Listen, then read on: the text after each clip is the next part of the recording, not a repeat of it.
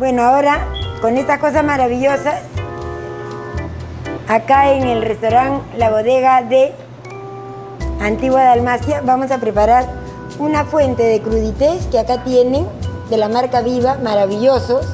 Una coliflor morada, crujiente, deliciosa, amarilla, unas zanahorias de colores, unos pimientos que los he limpiado por la base para que no pierdan su forma preciosa y un poco de endivias crespas y un romanesco. Y vamos a preparar un dip con un poco de queso de cabra, que ya acá está un poco mezclado, le vamos a añadir un poco más. Queso de cabra cremoso, nacional, buenísimo. Se le mezcla un poquito de ajo molido, se usa poquito, sobre todo si es que está crudo. Y se mezcla esto con yogur para darle la textura que queremos. Lo mezclamos, que quede bien, bien homogéneo. Y acá le vamos a poner las hierbas peruanas.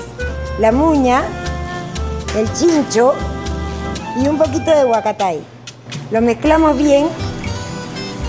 En realidad esto se prepara y se deja reposar por lo menos una hora para que todos los ingredientes hagan lo que tienen que hacer, mezclarse y conversar bien.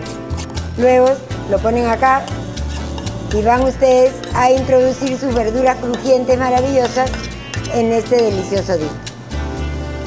Aquí tenemos estas crudites de colores que casi no hay nada que agregarles. Miren los colores. Estas coliflores moradas, las amarillas, hay unas verdes que ya no nos han, no las hemos podido poner acá. Zanahoria blanca, negra, amarilla, romanesco, endivia crespa.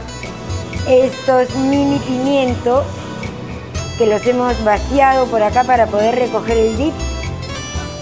Y hemos hecho este dip que tiene yogur no industrial, un yogur natural, queso crema de cabra, un poquito de ajo molido, muy poquito, tiene chincho, sal, muña y huacatay picadito.